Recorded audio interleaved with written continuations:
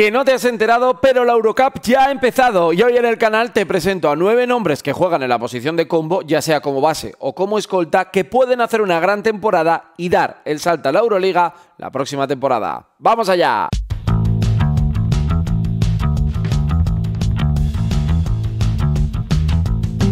Muy buenas, bienvenidos a mi canal, hablemos de básquet, hablemos de la Eurocup y en este caso para daros información de servicio, porque estoy convencido que más de la mitad de los que estáis viendo el vídeo, si no me lo ponéis aquí en comentarios, no os habéis enterado de que la Eurocup ya ha comenzado. Terminó la Supercopa, la Liga CB empieza el fin de semana, la Euroliga y la BCL lo hará ya en el mes de octubre, pero la Eurocup ha empezado un Eurocup donde tenemos a Valencia, donde tenemos a Juventud y donde tenemos a Gran Canaria. Es decir, muchas opciones de llegar a semifinales seguro y yo creo que opciones claras de poder ganar este título, que ya sabéis que es la antesala a la Euroliga.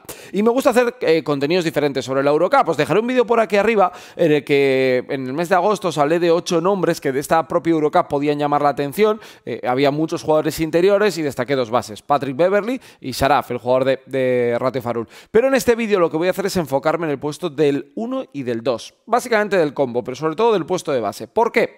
Porque la Eurocup, ya os he dicho muchas veces que por una cuestión también física, por el tipo de competición que se juega, es un trampolín bastante relevante donde muchos jugadores hacen una gran campaña en Eurocup y acaban subiendo a la Euroliga. La muestra es sencilla. Eh, he repasado de memoria la Euroliga y me han salido Darius Thompson, Cody Miller McIntyre, TJ Shorts este año, Tyron Wallace en Zalgiris esta campaña, al igual que David Sirvidis, Isaiah Cordiné que está en Virtus, Nigel Williams Goss que pasado por el Real Madrid eh, y luego eh, a Olympiacos donde está actualmente Juan Núñez, nuevo jugador del Barça, Yago dos Santos también como Cody, jugadores eh, los dos de Estrella Roja de Belgrado, y en el Alba Berlín, Mateo Españolo y Ziga Samar. Es decir, lo mejor de lo mejor de la Eurocup sube y tiene esa oportunidad para poder eh, tener ese contrato en la Euroliga que le permita crecer ya en la mejor competición del baloncesto continental. Con lo cual, bueno, como el trasvase es más o menos fluido, el trasvase se suele dar, bueno, pues he tratado de enfocarme en nueve jugadores que no son ni del Granca, ni de Valencia, ni de Juventud, es decir, para poder descubrir nombres y bueno, ver realmente si podrán dar el paso en el corto plazo, es decir, la próxima temporada. Hay jugadores más hechos, hay jugadores menos hechos, eh, muchos son eh, chicos que están a puntito tocando ya ahí la puerta de poder dar el salto y convertirse en realidades. Quiero que este vídeo lo completéis vosotros, si os gusta este eh, formato podríamos hacer una segunda parte. Ya os aviso que con la Eurocup y con la BCL vamos a hacer algo muy chulo durante el año para que vayamos conociendo los nombres más top de la temporada, pero para eso necesito que estos vídeos los veáis mucho, los comentéis y dejéis vuestro feedback. Bien, vamos a empezar con los nueve nombres. Quiero que un vídeo picadito, ¿vale? Que nos permita charlar de, todos. Y el primero es un jugador que descubrimos prácticamente la gran mayoría viéndole jugar con la selección de Grecia en los Juegos Olímpicos de París. Hablo de Basilis Toliopoulos, el jugador del Aris que venía de una gran temporada, 14 eh, puntos, 2,4 rebotes, 3 o así asistencias y un 36% en el conjunto griego, que se ganó la oportunidad, este ex jugador de Olympiacos, de estar precisamente en el proyecto de Spanulis para estar en el preolímpico y posteriormente en París 2024 y que este año, bueno, pues parte como uno de los nombres que están marcados en rojo dentro de este conjunto griego.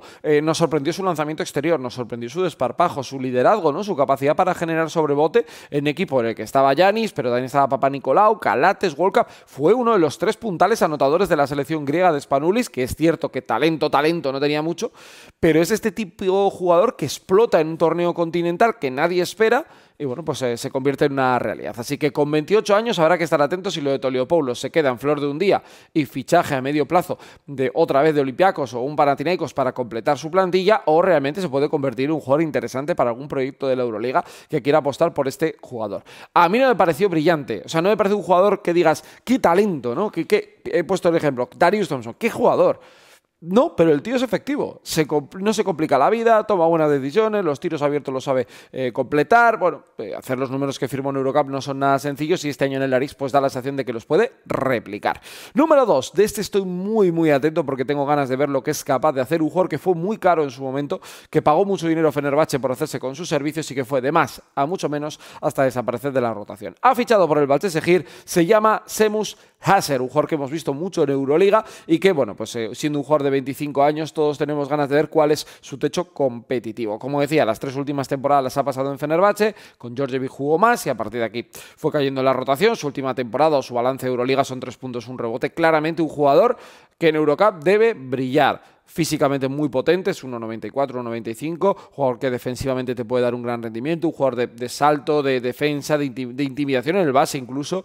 Eh, eh, a mí es un jugador que creo que en ataque no se ha desarrollado lo que esperábamos, pero me da la sensación que en una competición donde el Eurocup se baja un escalón, su presencia física, su capacidad para ir al aro, bueno, pues puede convertirle en un, en un chico de 8, 9, 10 puntos por partido que esperemos que lo haga. Y sin salir de Turquía, os voy con el tercer nombre. Decepción el año pasado para este jugador, no tengo dudas. Y es que con 27 años a Kyle Alman le presuponíamos ya ser un jugador de pleno derecho de Euroliga, pero este jugador que pasó por París brilló pasó, en este caso, por eh, Turquía el año pasado, dejó sensaciones un poco raras. Números en Eurocup de 13 puntos, 13 asistencias, también ha jugado BCL, sobre todo el 27% en triples y la inconsistencia en muchos momentos ¿no? a lo largo de, su carrera le han marcado. Y a Kyle Alman es un jugador que me gusta, siempre me ha llamado la atención, un jugador, sobre todo en aquel, aquel Paris Basket, ¿no? en el que había tantos jugadores eh, pues como Ismael Camagate, estaba él también, Tyron Wallace, eh, jugadores muy pintones previo a la llegada de Tomás Lisalo, TJ Shore y Nadir Hiff compañía y tal. Bueno, pues este equipo compitió muy bien y bueno, pues finalmente no acabó metiéndose muy arriba, pero él daba la sensación de que llamaba a la puerta de la Euroliga, pero de momento pues no lo ha conseguido. Así que veremos, ¿eh? también físicamente ha tenido algún problema en algunos momentos, pero yo siempre en un listado de este estilo quiero incluir a un jugador como Kyle Alman, que si no, espero verlo en la CB próximamente. Cuidado con este, porque este tiene que estar muy atento también a Vita Olimpia Ljubljana, porque eh, es un proyecto que evidentemente es histórico, eh, quien nos recuerda a la Olimpia Ljubljana, el mítico equipo esloveno, que se fusionó con aquel equipo croata y bueno, lleva mucho tiempo compitiendo y en cierta manera, varios años ha decepcionado, porque esperábamos mucho más de, este equipo, pero este año ha, cambiado la dirección deportiva, lo lleva Chechu Mulero, eh, quien conocemos muy bien de la etapa de, Valencia, ha fichado varios nombres interesantes, pero yo me quedo con este, que viene desde Francia. 26 años, 1,86, juega en el puesto de base, se llama Devante Jones, eh, un jugador que pasó por Le Mans la pasada temporada, firmando 12.5 asistencias en la BCL, y que creo que es un jugador a tener en cuenta. Este tipo de equipos y este tipo de competiciones, si tienes un buen generador, un buen anotador en esas posiciones de, 1-2, avanzas muchas rondas, ¿eh? porque es una competición en la que el talento individual pesa mucho, en la que el juego no está va más lento que si tú ves la Euroliga, donde hay un juego más, aunque hay mucho talento de uno contra uno, hay mucha velocidad del juego, aquí el talento individual brilla llama mucho la atención y yo creo que en este caso Devante Jones puede tener la oportunidad de llamar la atención, en este caso en Chedevita Olimpia Ljubljana y siempre hay que estar atentos a lo que nos puede ofrecer Chechu Mulero en esa dirección deportiva. Vamos a por el quinto nombre y en este caso vamos por un francés que juega en el finalista de la pasada Eurocup, Bourg-en-Bresse. Se llama Joel Ayayi, 24 años, 1,93, un jugador con experiencia en NBA, eh, ex de los Wizards, también pasó por varias etapas en la G-League y que la pasada temporada firmó 8 puntos, 5 rebotes, 3 asistencias y un 40% en triples. Jugador joven, jugador físico, jugador que puede crecer, jugador del que hay que estar atentos, ¿vale? Eh, Joel Ayayi, eh, que es este jugador que yo creo que puede llamar la atención y puede hacer una muy buena temporada. Que Burda además trabaja mucho ¿no? ese desarrollo de talento. No vamos a, decir que Harry Sacher lo ha sacado solo el Burda era un jugador con un talento descomunal, el último número uno del draft, pero sí que es cierto que es un sitio, pues, eh, lo hemos visto en ACB con Bodia Massa, ¿no? que lo ha desarrollado y ahora lo ha fichado Manresa, aunque ha empezado eh, la temporada lesionado.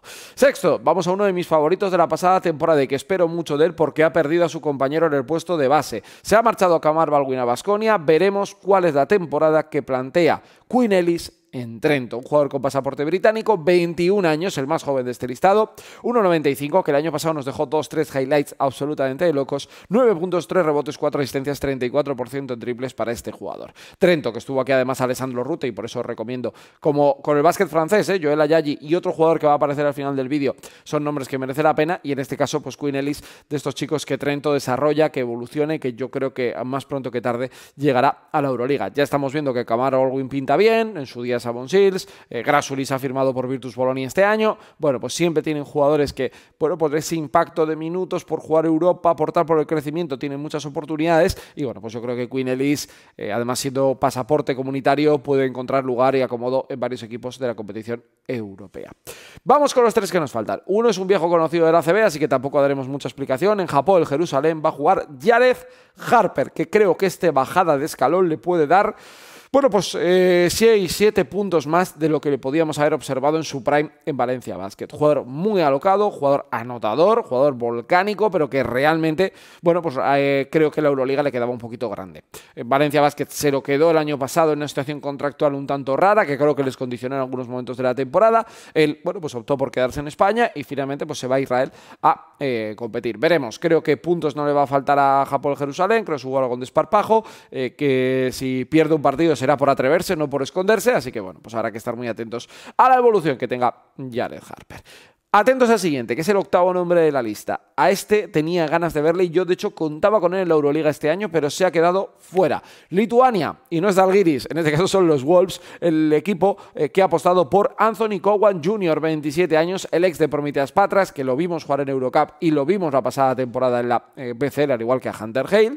Eh, y bueno, pues este jugador ha firmado 12.5 rebotes en su etapa que jugó en la Eurocup, que fue el primer momento en donde yo personalmente le vi eh, brillar. En este mismo equipo está Kariniauskas, que jugó con Lituania en el Mundo Básquet 2023 y que hizo un grandísimo torneo, gran partido además contra Estados Unidos, en aquella victoria eh, de la selección lituana. Y está Andrew Andrews, el exjugador de Juventud de Badalona, en ese proyecto de los Wolves, que ha aparecido, que ha emergido. Ya sabemos que el Lituania también está el 10 Cabelis. Y bueno, pues eh, parece que los Wolves van en serio esta temporada y que siempre tienen jugadores llamativos. Así que para mí Anthony Cowan de los favoritos este año para poder subir a la Euroliga. Y el último nombre con el que cierro, porque además hablamos de él en el vídeo eh, con Lucas y con Thierry, yo os recomiendo que os paséis por allí porque son vídeos que muchas veces pues no tienen a veces la gran acogida ¿no? que puede tener otro tipo de vídeos más de actualidad, pero luego con el tiempo van ganando muchísimas visitas eh, y es el caso de Adam Mococa. No porque lo metiera Lucas en el vídeo, sino porque yo le pregunté por él y hablamos de la reflexión del jugador eh, del 2-3 del base que tiene muchos problemas en el tiro exterior y que aunque físicamente sea un jugador de nivel Euroliga, porque Adam Mococa lo es,